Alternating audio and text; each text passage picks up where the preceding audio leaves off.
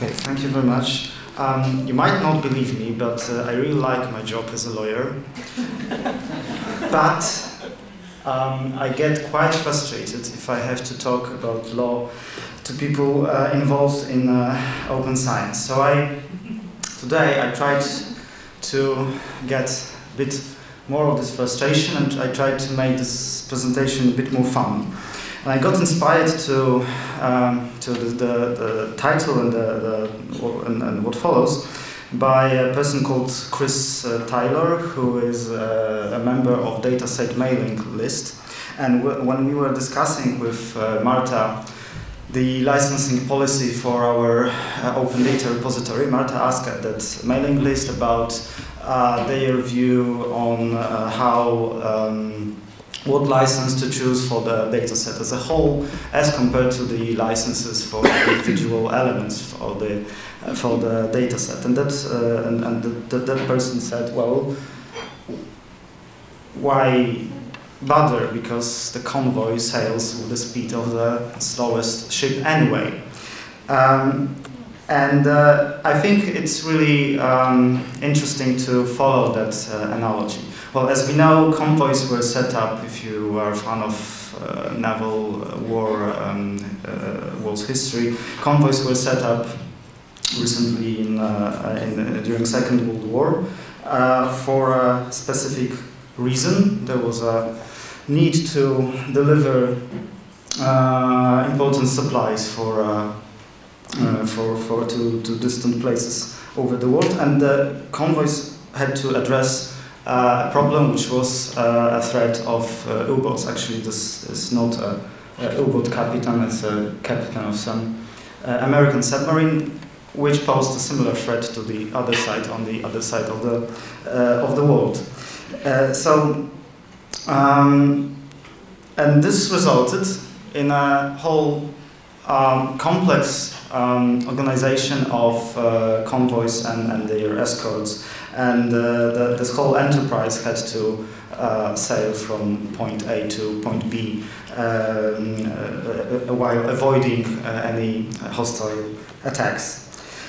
Um, and at the same time, while following this simple but uh, principle um, uh, primary principle that the whole convoy had to sail at the, at the speed of the slowest uh, slowest uh, ship in, in that uh, convoy.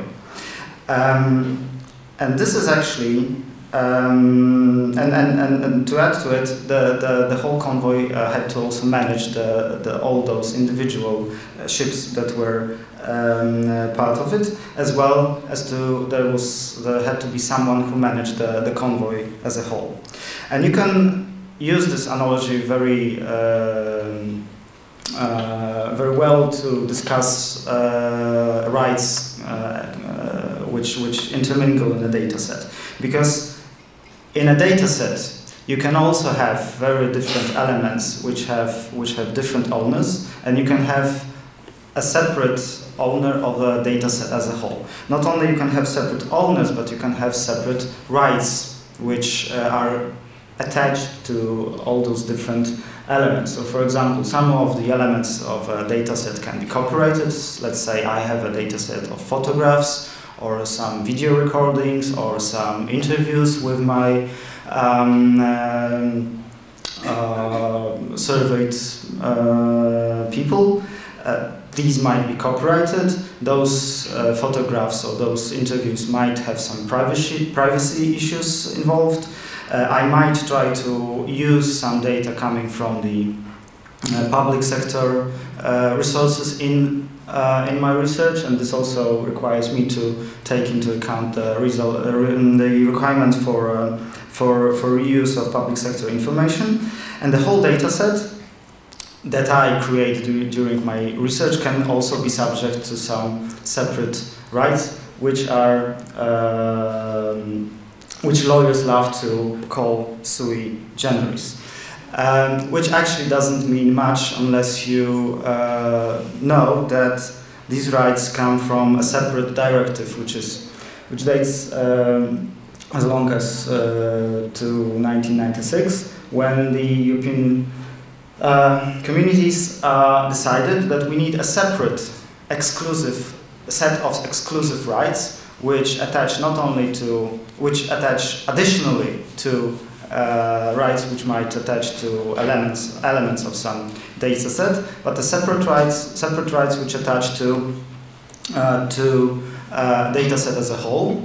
Um, not only uh, in case where and this, such a data set can be can be thus protected not only if it's creative, creatively collected, assembled, and so on, but also if it's not creative, but it's um, but it's um, a result of some substantial investment which has been which has been put to the, uh, for example, collection of the uh, of the data, regardless of any protection, copyright protection or other protection that might uh, attach to dataset or, or the elements.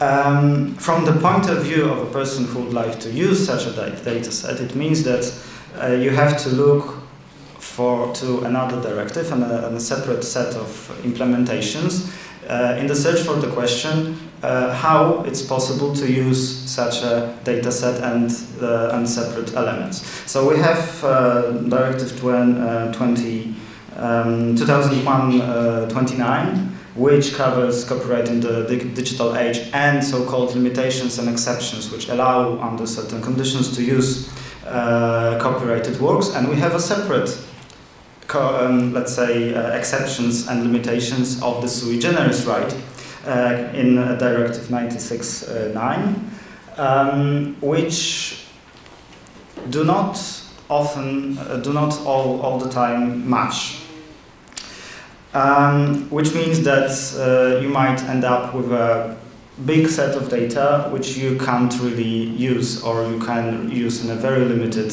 uh, in a very limited way. Okay, enough uh, about sui generis uh, because this is just an uh, illustration of a bigger problem which is IPRs as a uh, in, in general. Um, and in the reminder of my time I'd like to um, at least try to come up with a, a draft solution to this uh, problem. Well, okay, so imagine we have this researcher who compiled a data set and would like to share this uh, data with uh, some other researcher. So obviously, uh, if uh, I was to advise, I would say that uh, first of all, you have to really think what are the rights involved in this whole data set uh, if there are any which are not yours, you have to identify the owners, and you have to think whether you have to negotiate with those owners to uh, whether they have to allow for, for certain use or not, uh, or not, because you might fall fall under uh, one or two, hopefully maybe more exceptions or limitations which are covered in uh, respective uh, laws, and you have to also identify those those those laws and probably your lawyer might help you. But from the point of view of the other researcher who'd like to use this data set, actually he has to follow the same procedure. Because even though the, the rights were cleared on the uh, left side, uh, this might not mean that uh, all this clearance really applies to all the activities which are contemplated by the by the by the user. Might, the rights might have been cleared only to the extent which was necessary for the uh, for the left researcher uh, to uh, to publish the data or to, to, to use the data. The other research might be completely different in scope, in application, and so on, and might not fall under the same limitations and, and so on.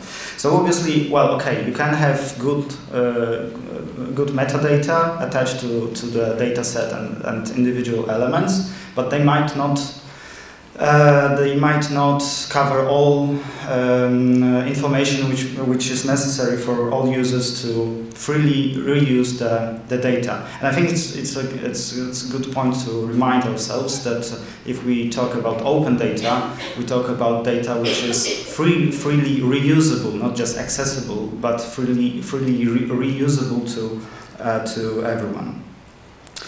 But still, if you want to go to this uh, into this into this journey, uh, you mm, you you might at least try to get some apart from doing your research, in parallel to doing your research, try to um, gather as much documenta documentation about the data you collect so that you can share as much uh, of this information about rights and their limitations for, uh, with, with all uh, prospective users of your data. And it's not that we are inventing the wheel here. The topic is, is uh, already well known. In Horizon 2020, there are spe specific guidelines for those research projects that would like to uh, contribute their data to data pilot, uh, which boils down to uh, having information, let's say information policy, and in particular drafting a data management plan, which requires that you answer all those uh, questions and prepare some metadata and some documentation um, to your to your data. Uh, to your data meaning the data set as a whole, but also to all individual elements of your data set. Uh, and uh, to just give you an example, I tried to recreate such a process with regard to my presentation, and in order to make it as more close to what a casual researcher would do, I did it not beforehand, but uh, only today in the morning, just before the release of my small data set, which means that I had very small time and I obviously failed to do it properly because what I was only able to do in the morning, I was only able to gather, gather some screenshots of the uh, web pages where I found all those uh, pictures that I showed you.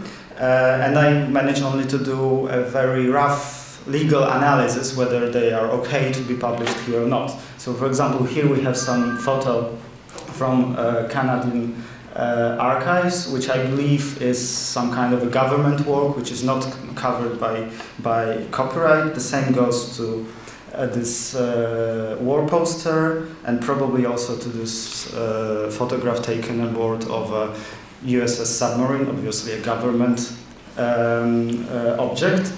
Um, well, with this one, I'm not, uh, I'm not very sure. Maybe this is not copyrighted at all because we have some rough diagram of a typical convoy, so maybe there is no creativity involved in this picture, and I, I, uh, I could use it without uh, problems.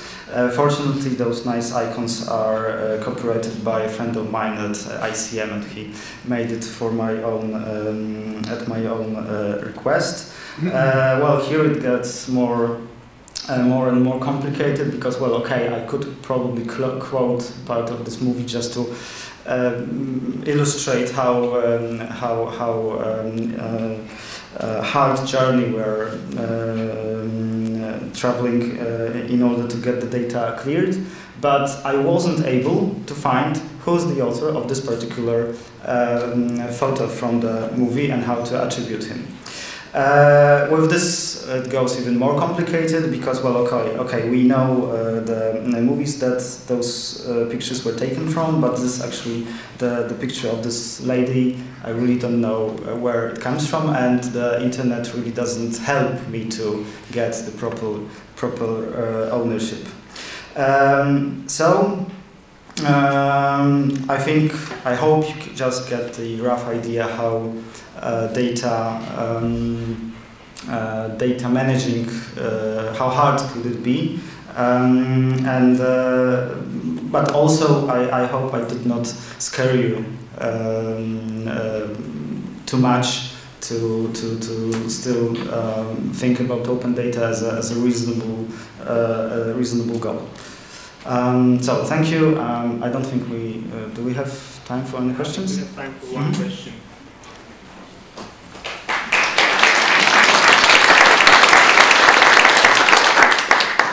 Okay, so one question. Yes?